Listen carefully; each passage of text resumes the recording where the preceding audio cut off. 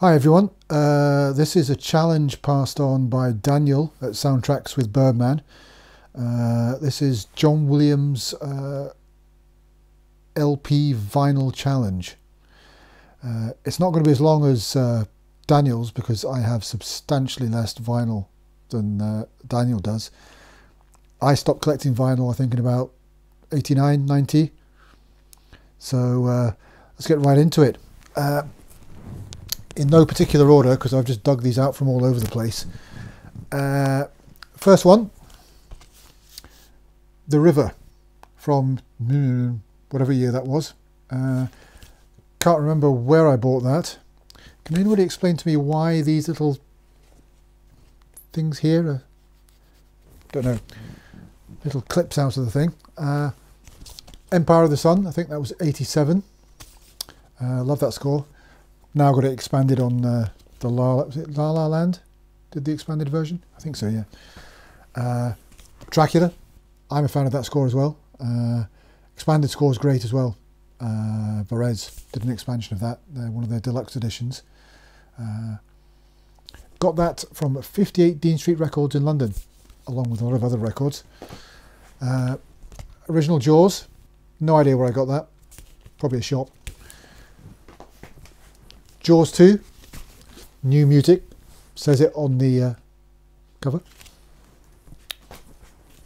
The Fury, this is the uh, the LSO re-recording. Uh, again, I've got the La La Land expansion now, so I've got, uh, which also comes with uh, kind of a, a revamp version of this. I think this was recorded at the same time as uh, Superman.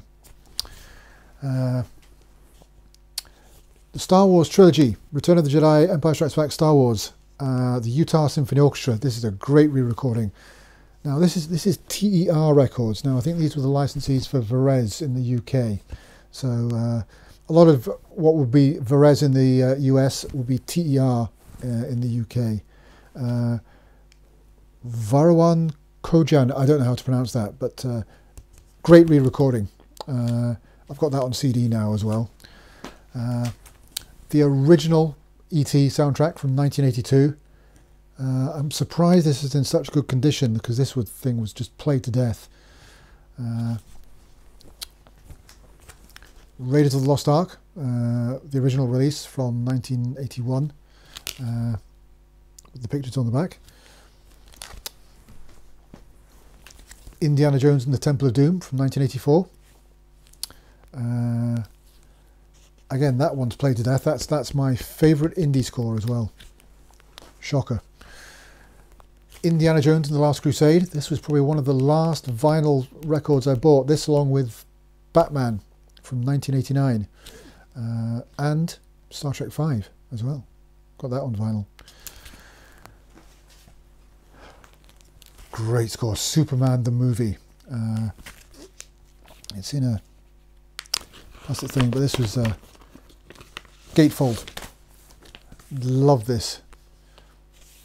What's this? Oh, it's the track listings. Because the track listings weren't on the back. Only on the uh, uh, the actual LPs themselves. So I wrote them on a thing. So that's that's my handwriting from about 40 years ago. All right, let's put that uh, to one side. Uh, the Accidental Tourist, I think from 88, I think it was. Somewhere around there anyway.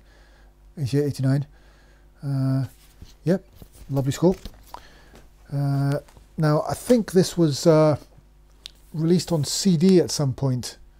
Uh, I haven't got the CD, I've only got this, which I bought in. I can't remember.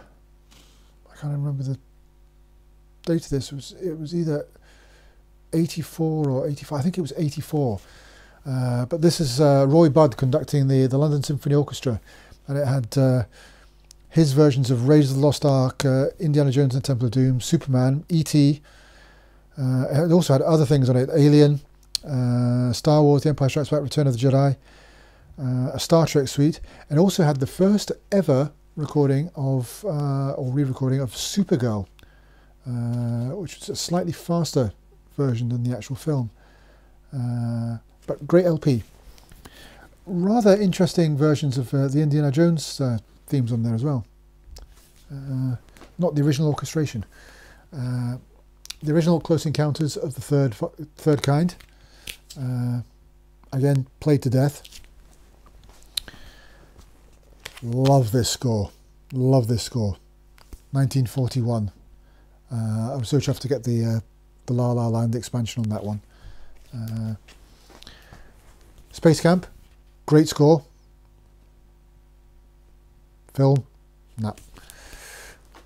This was an odd one I discovered. Uh, it's the John Williams Symphonic Suites. Uh, music from E.T., Close Encounters and Star Wars. Now this is the London Symphony Orchestra and the National Philharmonic Orchestra conducted by Frank Barber. Uh, I should have worn my glasses trying to see what year this is. Don't know. But that's an odd one. Don't know where that came from. No idea where that came from. Uh, Jane Eyre. Uh, I think this was released in the UK in about 82, again on TER Records, uh, under license from uh, Varese, I believe. I think, not sure.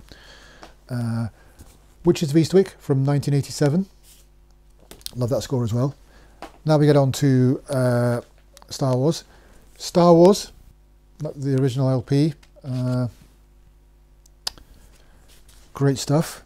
Now this is this is falling to bits, and it's a shame. This is the original uh, Empire Strikes Back, uh, my my favourite Star Wars score. Now this this has been through the uh, the wringer and back. This travelled from Northern Ireland to the UK in a suitcase that also had some pickled beetroot in it. No idea why.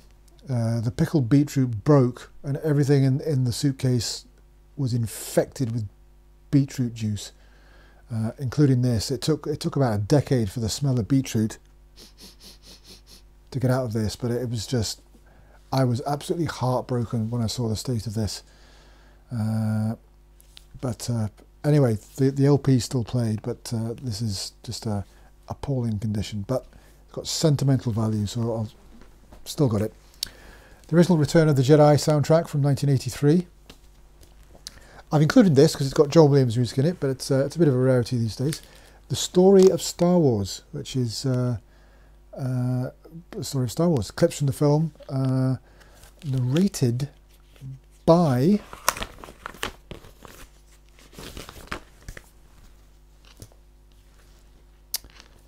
uh, somebody.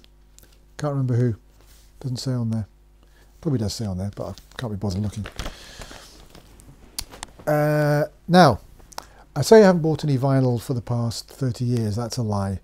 Uh, just just for a collector's point of view, when they re-released the Star Wars soundtracks on vinyl, I picked them up just so I would have brand spanking new ones. So I got Star Wars, The Empire Strikes Back, just to replace that old tatty one, uh, and Return of the Jedi. So, yeah, slightly less than Daniel's collection, uh, but that's my John Williams vinyl uh, collection. I think it's 27 albums in total.